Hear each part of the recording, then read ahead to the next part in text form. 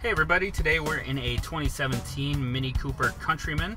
We're going to be showing you how to install ProClip mount 855312.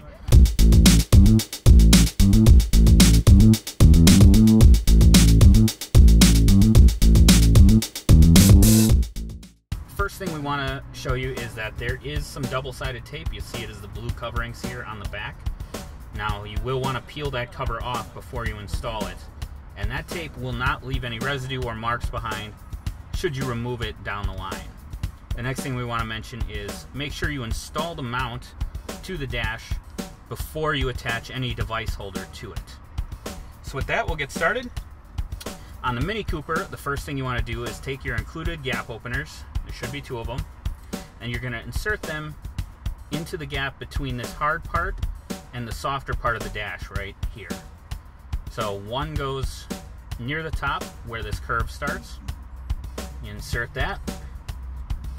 And the other you want to go pretty far down, basically in line with this button right here.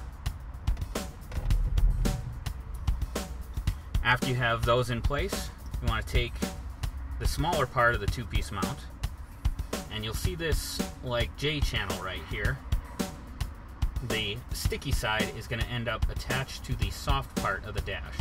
So you want to insert that and kind of twist it so the J channel goes underneath and the sticky part attaches to the dash. Now we're going to take the gap openers out and that'll stay in place. Now our next step is going to be to take the faceplate and we're going to screw it on using these two screw holes here. So you want to make sure you line up the holes in the faceplate with the holes in the second part and just screw it in.